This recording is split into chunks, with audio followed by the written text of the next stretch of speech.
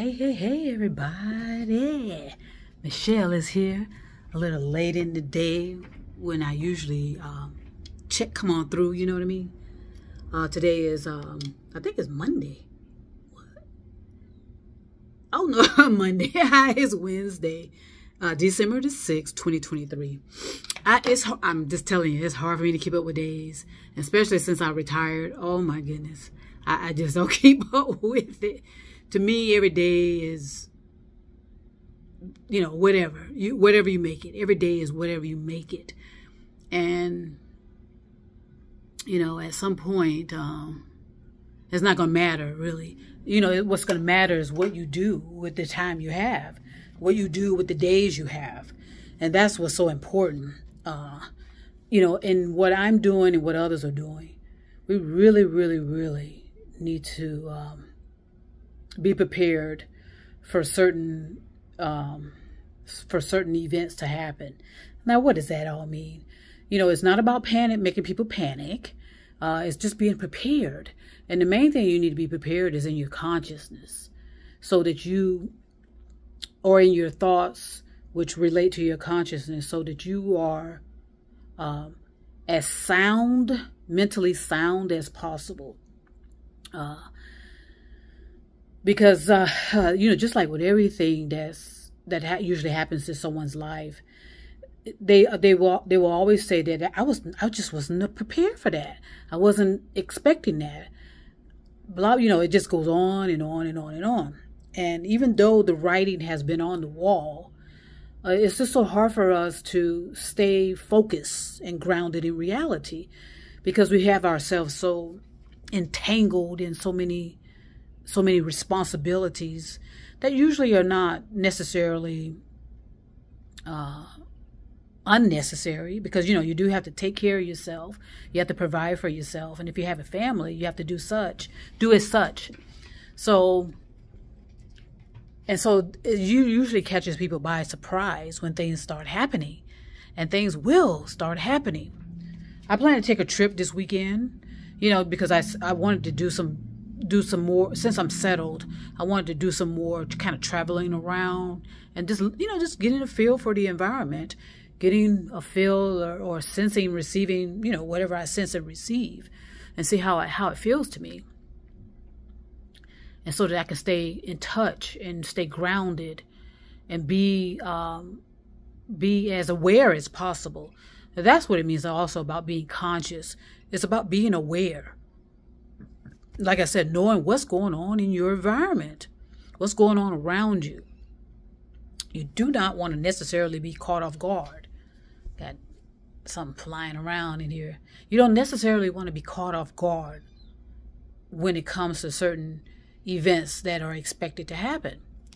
Uh, like to you know, like what's going on in my neighborhood is, you know, there's always something going on and, you know, they always have this either call them active shooters or they call them mass shooters. Those kind of things are are happening all the time and will eventually escalate. You know, because it's it's it's the cause and effect. I told you we're living in the effects of complacency and ignoring warning signs for decades, for decades, for decades, and millennia, millennia, millennia okay? Or we can go back and say millions of years, millions of years. It's all rel is is the timing is rel is uh is irrelevant right now because it's considered the past. And you know what they say about the past? You can't change the past, and you cannot. All you can do is live it, live with the results and the consequences, and that's where we're at. That is where we're at. So, I'm working on something uh, like I said, in a non-profit capacity to do my share to help. Okay, and I think all of us ought to do. If you know, if you're not gonna, if you're not gonna help the situation, I mean, why not just step step aside? Uh, that part it doesn't make any sense to me. Uh, but there's a cause and effect for all of that.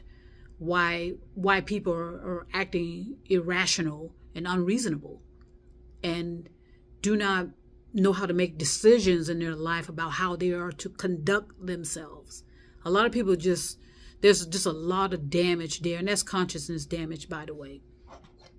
Something that had had been lingering and lingering and lingering for decades upon decades, and a lot of people had experienced a lot of uh, so-called damage uh, uh, in their adolescence or their puberty. Okay, and it wasn't it wasn't uh, addressed properly because what? Everybody's overwhelmed. The mother is overwhelmed. If a father is there, he's overwhelmed. There's financial overwhelm, you know, being overwhelmed about your finances. You know, now it's about housing. You know, it's it's it's, it's just a constant piling on of uh, things to be concerned about, and it's just going to get more intense and more intense over time. That's why it's so important to um, make sure you deal with unresolved issues and handle them, resolve them. You know, feel feel. I mean, bring some victory in your life because you resolve things and you didn't wait and wait and wait and expect somebody else to come in and save you. We have to consider, um, you know, some of the effects of what is going to happen, and it can, we cannot be focused exclusively on materialism. It has to come from the consciousness. And so that's what I'm planning to do to help.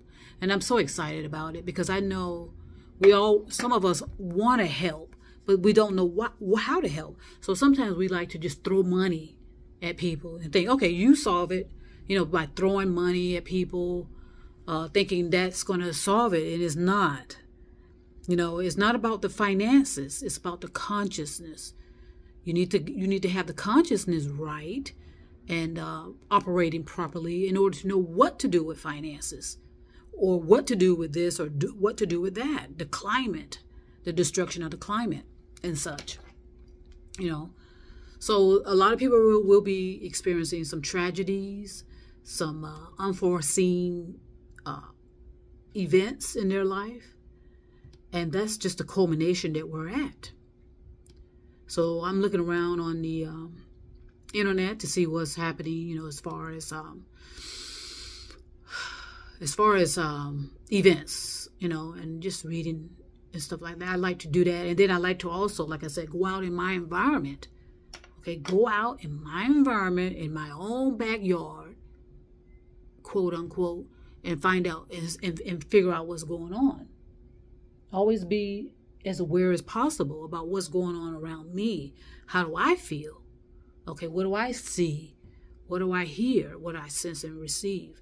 That's a constant, constant habit for me that has developed and and been so fortified within me. You know, it's it's a natural habit that I have. Now, do I miss signs? Yes. You know, because we're so massively overcrowded with people, vehicles, more specifically and especially with noise, noise pollution that interferes and causes a lot of damage to our consciousness. So even though you may, again, take in a lot of noise and, and sounds and stuff, and then you think you can block it out with headphones and you know, I think it's extremely dangerous to be walking around with headphones on in, you know, out in the open, in the public eye, you know, in the public realm. I really do. But you know to each his own. You know we you know i have to and i do i allow people to to do what they you know. If i you know when i was in the first responder of course i had to make sure people were safe. You know i had to. That was my job. So if somebody was uh you know getting ready to walk in the middle of traffic you know i had to do whatever i can to just kind of stop them and save them you know. That was my job and more so with kids. But you know what? I got to it got to a point when I was working in a particular neighborhood where the kids were fine. They had that rhythm and that flow where they knew how they were. You know why? Because they were paying attention to their environment. They paid attention to where they were stepping. They paid attention to what was going on with the traffic. I mean, they were they were actually flowing with a lot of rhythm, and so I rarely had any issues with young juveniles being involved in some type of pedestrian accident. It was very rare. I most like I in my in my experiences it was always adults, you know, on bicycles, skateboards. Those were the ones that were usually in in seriously, you know, in, uh, serious bodily injuries, you know, as a pedestrian. Like there was a there was uh, something out just recently about someone being hit by a train, and I thought, wow. And um, unfortunately, I think this was a young adult, you know. So things do happen. Uh, but but I'm saying when I when I was in the field and you know, it was rare that young juveniles were involved in pedestrian accidents. That's all I'm saying. In my experience, in the neighborhood I was uh, patrolling during my career in law enforcement, it was always adults on bicycles. So, but you know, as the uh, environment sort of heats up, as they say, the noise is the noise is in, increasing. Um, you know, the sound and, it, and it's disturbing to me, even though I'm a more visual, visionary type. Just imagine what people that are auditory, what they may be going through or may not be. Uh, they may have uh, been able to develop some type of uh, um, resistance, you know, be able to tone out a lot of sounds and tones. You know, some people are, uh, you, you know, they had those type of skills and abilities to do so. But yes, I'm just checking around the internet. The same, you know, everybody jumps on bandwagons.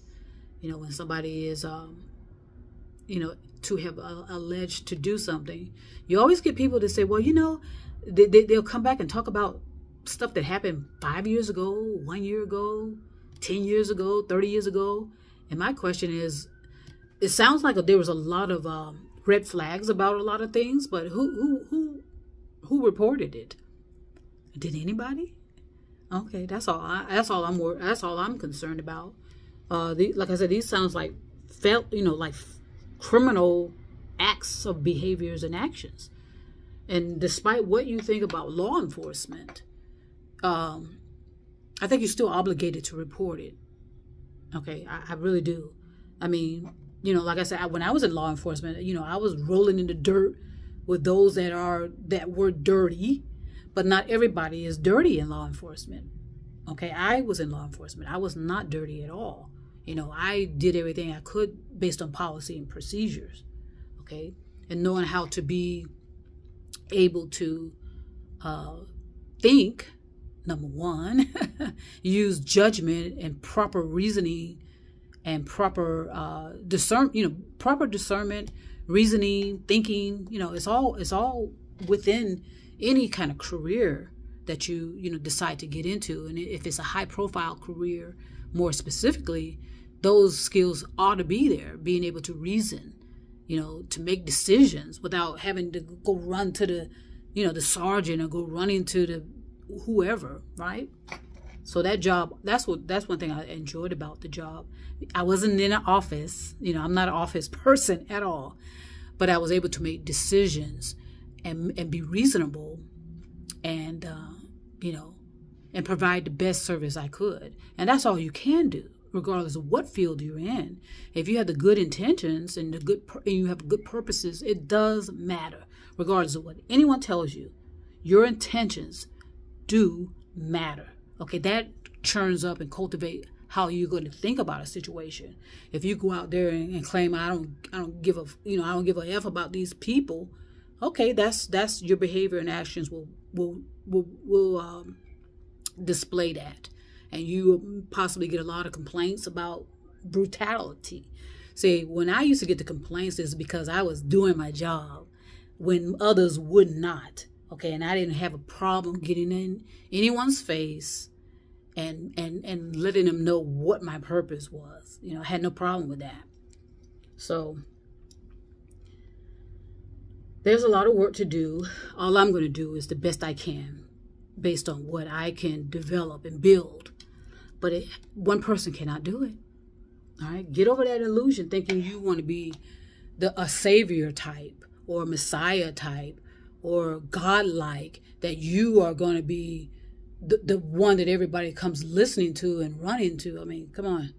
All right, we, there's a lot of indoctrination about how we allow ourselves to be trapped in this messiah complex where We think someone is supposed to just magically come out of the sky and save all of us. Okay, that's an illusion, and delusion, and we're going to lose millions and millions of people because of that. Okay, I'm just making that very clear and effective. Okay, because a lot of people don't want to start doing anything until they say they get the signs of a sign from somebody. You know, from who? I mean, you know, like I said on another video, wouldn't they have been here by now if someone's supposed to save you? Okay, it's about it's going to be about saving yourself.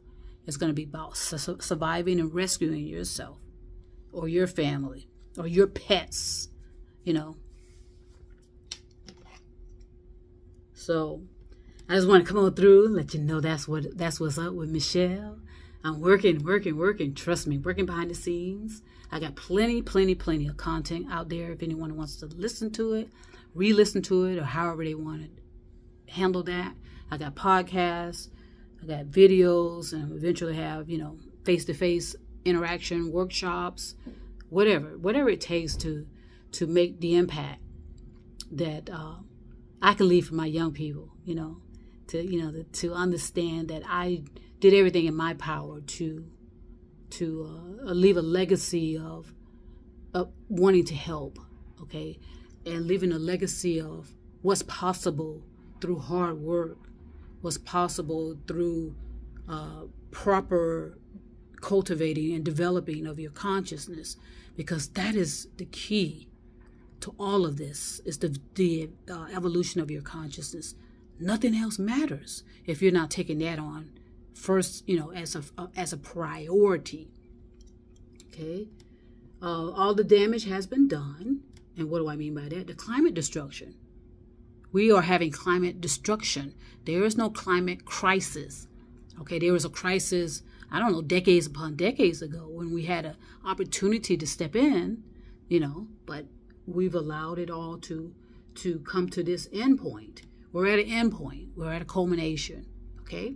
I'm to uh, help everybody that wants my help. I'm not going to be bothering people. I'm not going to be running up on people. I'm not going to attempt to indoctrinate and, and, and, you know, I'm going to make everything very simple. At the same time, I'm going to be kind and gentle because I know what is at stake here. I know it. Okay, so uh, that's all I wanted to say for today. I'm going to go in here. So, so the video production may be lighter. like I said, there's plenty of videos out there. It may be lighter. It all depends on what happens, but I need to focus on getting, um, uh, getting a physical, you know, uh, venture as well up and going and getting it out the door and start, you know, doing doing the things I, I need to do and I want to do. Others are going to be doing the same. But again, you are responsible as an individual to discern people properly. You are responsible for doing your research and you are responsible for trusting yourself about how you perceive people. If somebody makes you uncomfortable, okay, somebody makes you uncomfortable. Get yourself out of that environment, okay? And make sure you, you know, you share your experiences with others about how you are relating to people that are claiming to be helping you. Okay, do not allow someone to corner you into believing that you need to listen to this person only.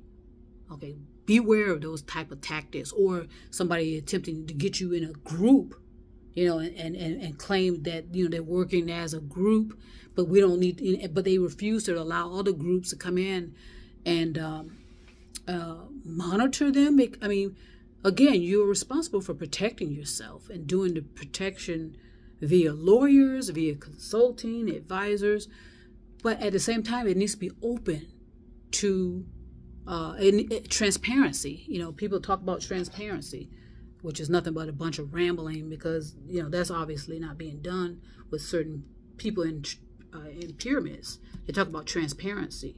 You know, we just get these words, and we um, you know, we take them to heart when it's nothing but smoke and mirrors. Transparency.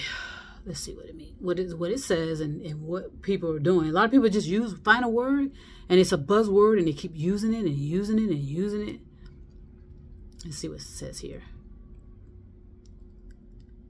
the characteristics characteristics of being easily of being easy to see through. Okay. Okay. That's what it says here. Let's see what else. Let me check out another meaning real quick. So yeah, you have to, um, if you choose to, everything's free will. But it's so important to know what these words mean as well. There's a lot of language out there that has has vague meaning, has a meaning of, of that's vague, but that's intentional sometimes. Okay, that's that's sometimes that's intentional. They don't want you to necessarily understand what the word means, right? That's the whole I that's the whole uh, objective, you know. They don't want you to, to know exactly what everything means. They like that vagueness, like the, like the Constitution. Okay, that's perfect example of it. It's you know that it, it, it's like it's sometimes so vague, and at the same time it, it it doesn't offer solutions or resolutions. It just keeps things spinning and spinning and spinning. That's an intention, by the way. That's done intentionally. Okay, so in other words, um, transparency, I guess they say, is um, you know you want to be clear and effective. You know you want to make it easy to understand. Is that what's happening now? in the political re- in the political uh, arenas? Does anyone understand what's really going on? Okay, I, I, I don't think so. But don't feel bad about it because that's the intention. That's my point. So I think if you start taking things off the personal, you'll be able to understand what is really going on and know exactly what you can do possibly to change it. Okay, we need all of you. Okay, so I'm going to go ahead and send peace and love right now. I'm hungry, of course. And I want to send peace and love all over the stars and moon and mountains. And trust me, I'll be back.